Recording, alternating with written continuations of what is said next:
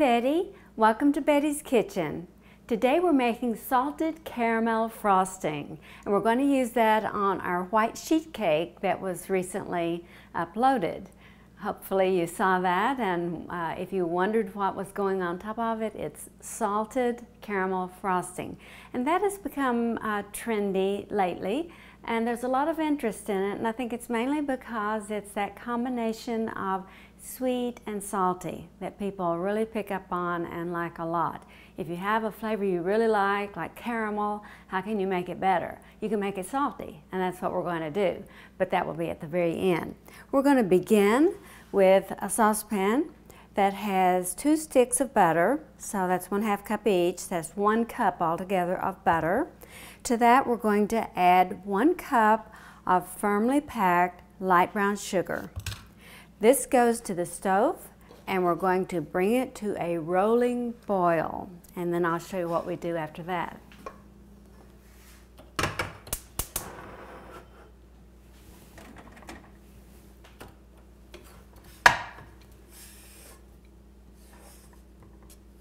Here our mixture of butter and brown sugar is at a rolling boil. So what I'm going to do is get some cream this is one third cup of heavy cream or whipping cream, whatever you want to use. And I'm going to pour that in here and of course that will stop it from boiling. I'm going to stir it around. Reduce the heat a little bit.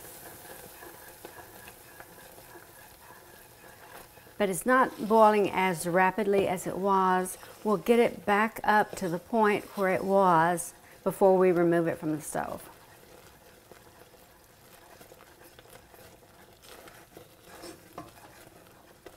This is back up to a rolling boil. Took about a minute. And what I'm going to do is come over to my stand mixer that I've got set up and pour this in. You can see it bubbling. So all of that gets poured in.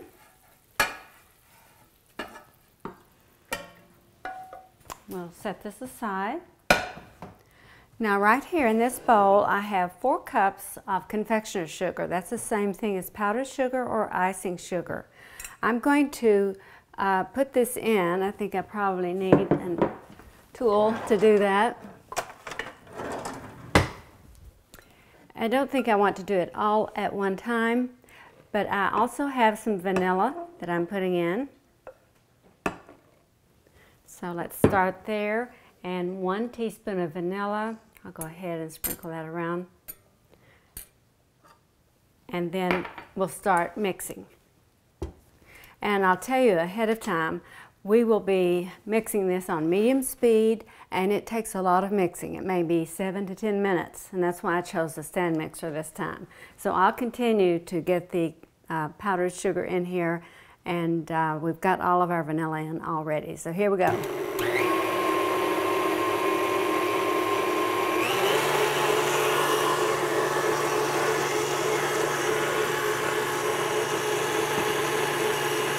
I want to show you our caramel frosting.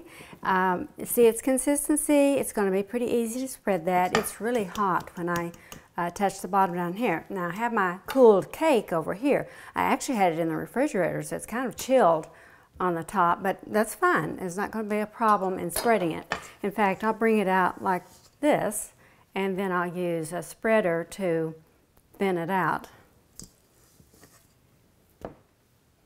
We'll do that much of it and uh, show you how it's going to work. But it, it did take um, only about four minutes because I really cooked mine a little bit longer than I instructed. Uh, if you follow my instructions, it will take you probably longer to mix it to the point that you can spread it. In fact, this is kind of stiff, um, probably overcooked just a little bit. But you can see how it's going to go, so I'm going to continue to cover the top of that and then I'll come back. And here I am just finishing up the icing and you can see that it's covering perfectly. That's just about the right amount. Or if you did a layer cake, you would have enough to go in between the layers and around the outside and get the top. Wouldn't be uh, this thick, but uh, it would be fine. Now here's my favorite part. This is still hot right here. While it's still hot, take some coarse salt, and I happen to be using Mediterranean sea salt, and uh, you want it to go onto the hot frosting because it will stick then. If you wait until it's cooled off, uh, it'll just roll around. And it may have a tendency to do that anyway, so you might want to take your spreader and uh, just press down a little bit after you get this. I put one teaspoon of salt out here in this little plate, but I'm just using about half of it. I think you can overdo it, definitely, even though this for me is the highlight of the dessert. So I am going to just press this down. And I did try to make it as smooth as possible because I felt like my decoration was actually the salt. And I didn't want to have a lot of swirls and things like that in it, uh, even though I usually do that for cakes. But this was something where I wanted the attention to be drawn to the little uh, crystals of salt.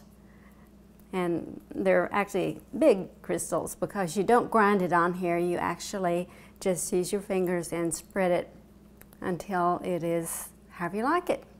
Now I'm going to clean up uh, my counter here and uh, serve this up and I'm going to do a taste test for you. So I'll be right back to do that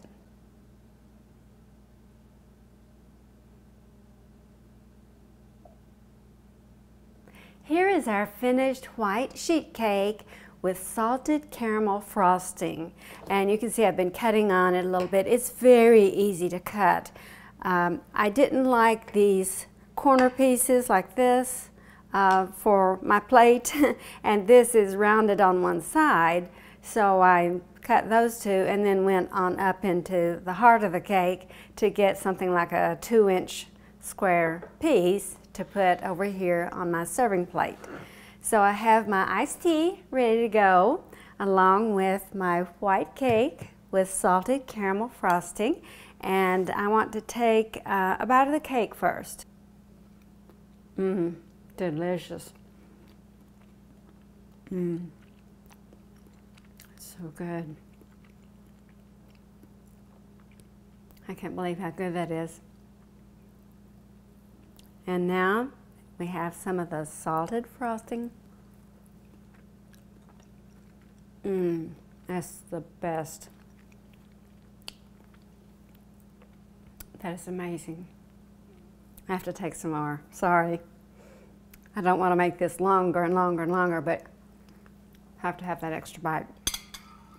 And just a little piece of salt here and there. That really does it for me. I hope you enjoy these two recipes, in particular the one we did today.